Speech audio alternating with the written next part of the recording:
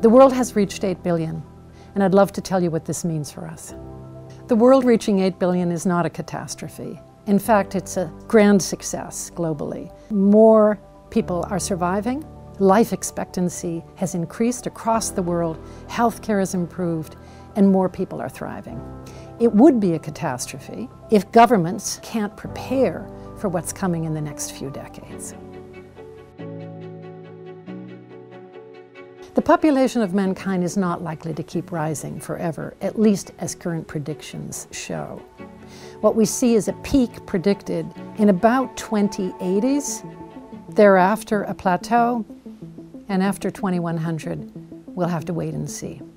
A feature of today's population is how diverse it is in different countries of the world. Imagine, for example, that there are eight countries that are going to be responsible for half of all global population growth between now and 2050.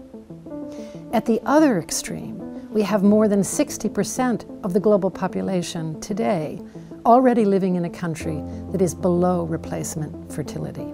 And more than 50 countries are already in population decline. Another example of population diversity around the world is age. The median age in Europe right now is 41.7 years.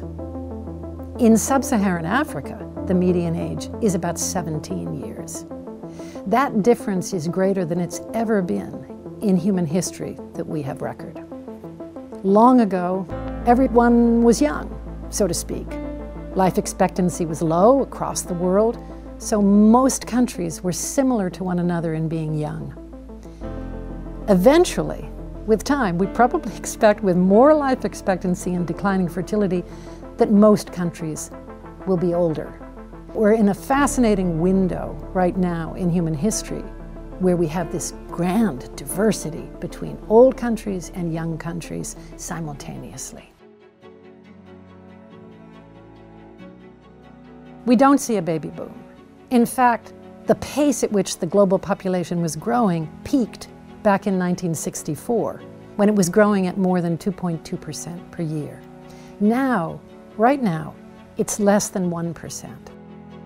It took 12 years for us to grow from 7 to 8 billion.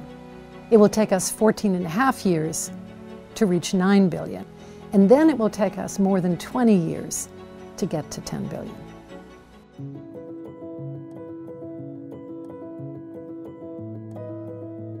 Birth rates go down for many reasons.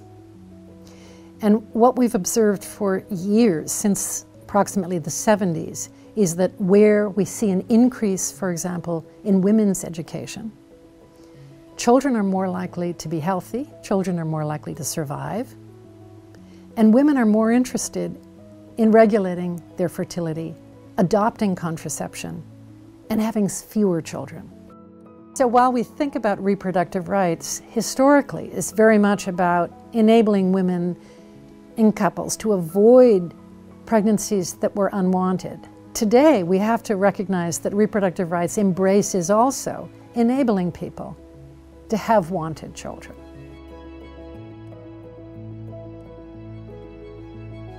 Where development has been successful and progresses, we see that it, these are countries in large measure where women have reproductive rights and choices. That women's agency, their bodily autonomy, are essential to development. They are in fact hallmarks and indicators of development and the achievement of the Sustainable Development Goals. So it's imperative for us to fulfill the Sustainable Development Goals and to make education universally accessible and affordable for all children. In many countries of the world today, what we see also is that people aspire to more children than they're actually having.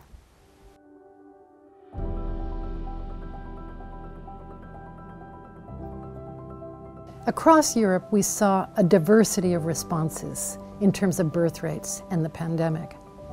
In the majority, countries actually had a decline in birth rates nine months after the onset of the pandemic when lockdowns were happening. And that seems to have been relatively temporary. those numbers have rebounded in the majority of countries. This is not unusual. This is similar to what was observed in the Great Depression. It was observed in the flu epidemic of the early part of the 20th century. In periods of economic uncertainty, history shows us that people postpone getting pregnant, that births decline, and those recover in almost all cases within a relatively short period of time. And that seems to be the impact of COVID. One of the great successes of 8 billion is it means that increasing life expectancy is no longer something which is only visible among the wealthier populations of this world, but it's growing and increasing. Child mortality is down, infant mortality is down, maternal mortality is down. These are huge successes for all of us. And 8 billion, 8 billion is 8 billion people who will develop unique, original, creative ideas to make the world a better place.